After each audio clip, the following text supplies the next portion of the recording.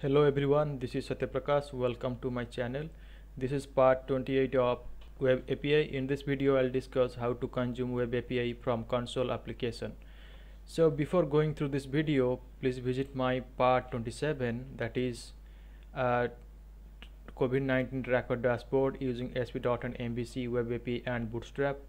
And uh, there is one more video which is relevant that is part number 7 is ASP.NET Web API using SQL Server and Entity Framework setup okay?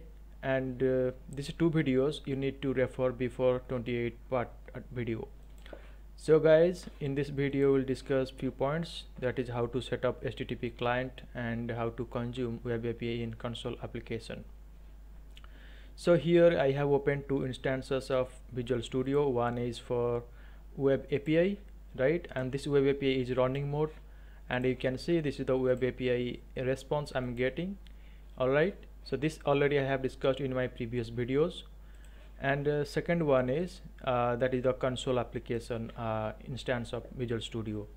So there is few steps uh, for consume web API from console application. So guys step number this is the step number one is add a class file.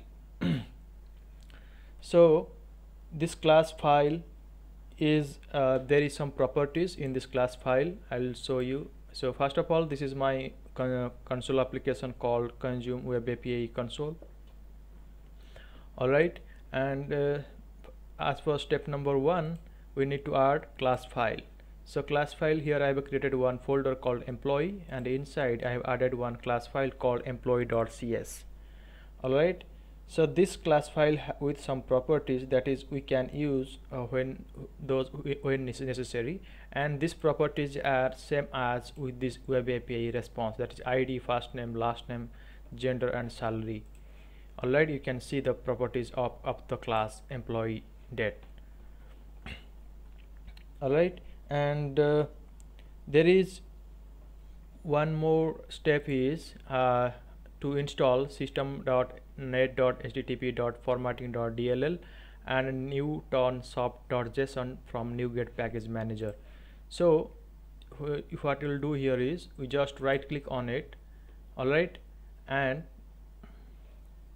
that is we can here as manage NuGet package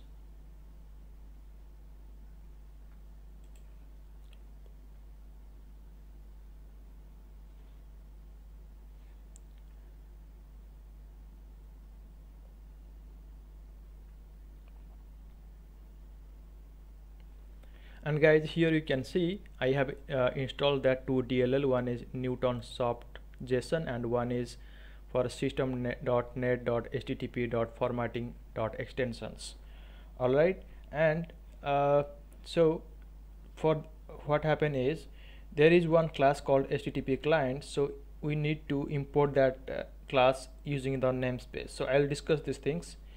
Alright? And uh, as for next step is we need to add consuming web API so for consuming web API we need to uh, configure in our program.cs file. So this is the main entry class file of the console application. So guys here we can see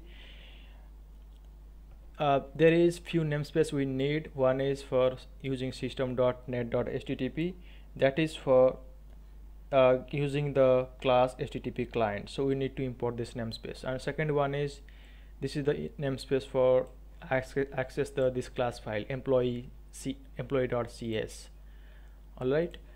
And inside main it is the entry point of our of our application. Alright?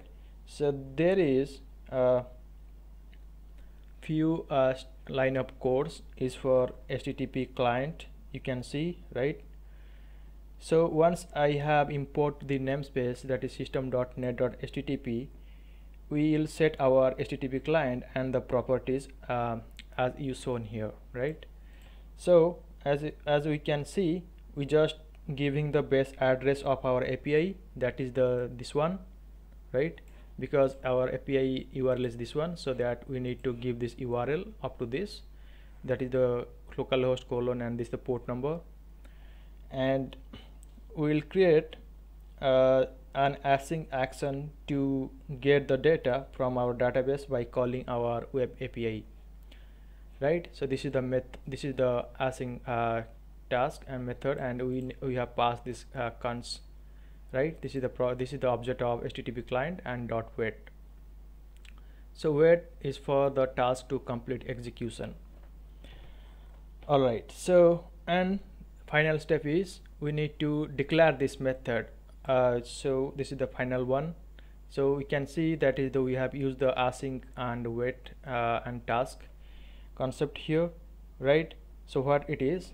So use async along with await and task. If the async method returns a value back to the calling code we used only the async keyword in the program to demonstrate the simple asynchronous void method and the await keyword waits for the async method until a, until it return a value. So the main application thread stops there and until it receives the return value.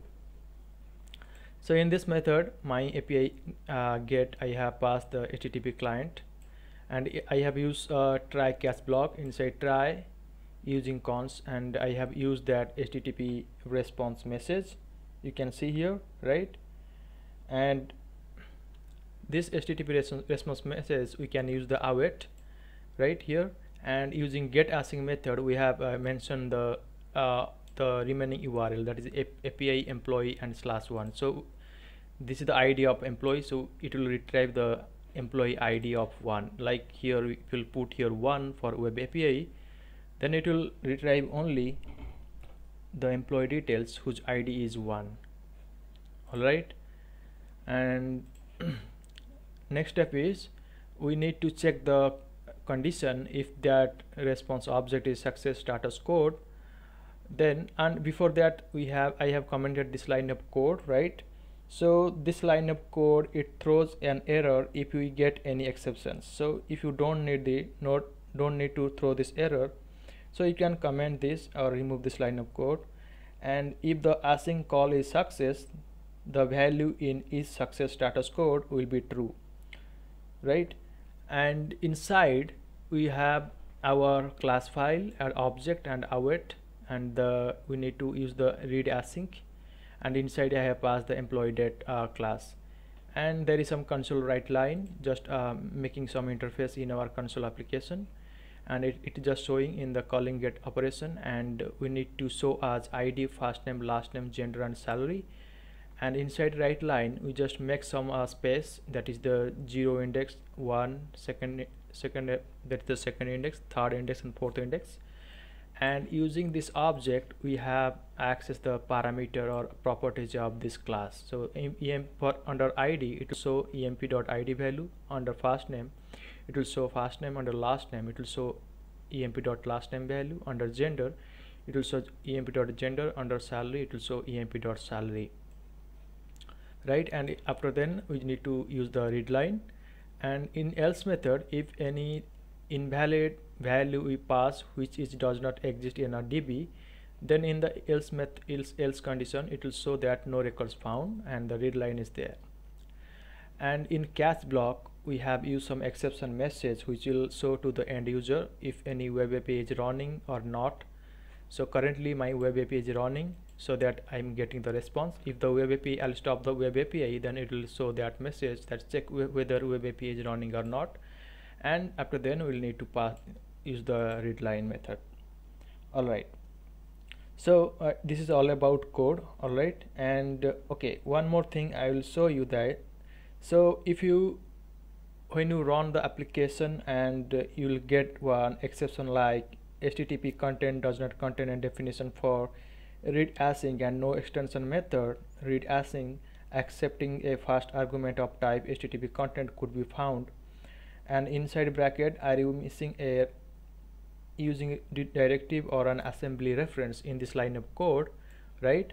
So then what you will do is this is just because of read async is a part of system.net.http.formatting.dll which we already have added in our application under reference right? So you can see I, I, already told you right to uh, this is the by default when you create the console application system.net.http and this system.net.http.formatting.extension this one we need to download from our NuGet package and second one is newtonsoft.json after uh, adding in our reference folder then this error will be gone okay and uh, we can do it uh, without any error.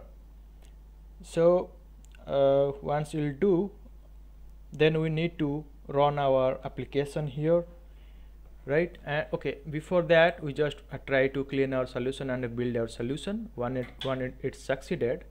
All right? Then we need to how to run the console. You can see one start is there right? We just uh, click on it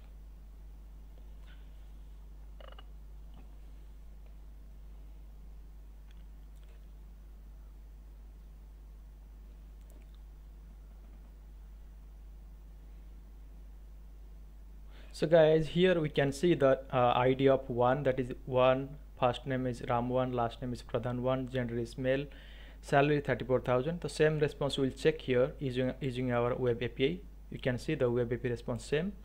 Okay now we need to stop our console application. We just want to check the employee id whose whose id is employee details whose id is uh, 4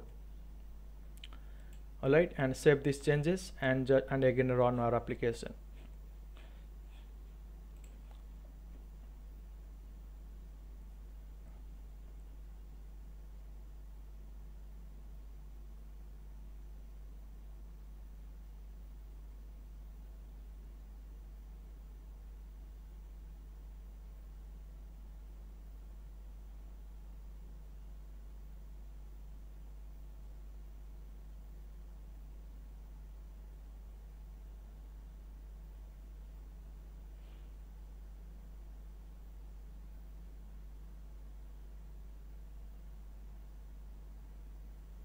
so this is the you can see the employee id whose uh, employee details whose id is 4 first name is philip last name is hastings gender is male salary is 45000 so we need to check the here in web api for id 4 so after then we'll check web api response for id 4 okay now you can see the web api response here right? Same here same response i'm getting in our console application. Okay now we'll check the different scenario for okay we need to close our application for console application. So guys here third scenario is we need to pass some invalid employee id 434 save these changes. We check here what will be what will be the response we are getting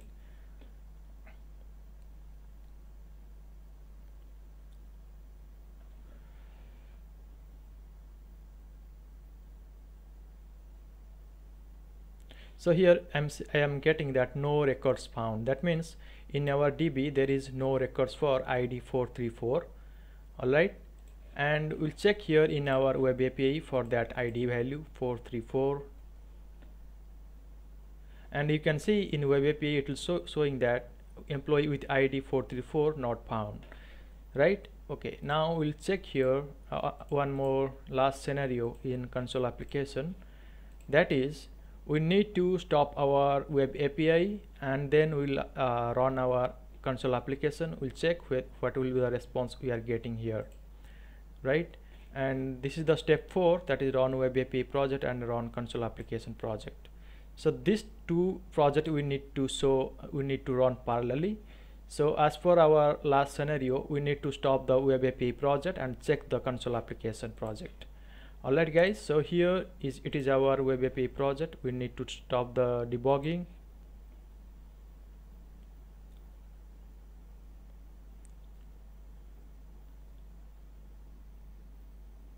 So my web API is running uh, uh, web API is stopped running. Then we'll check our console application here. So just click on start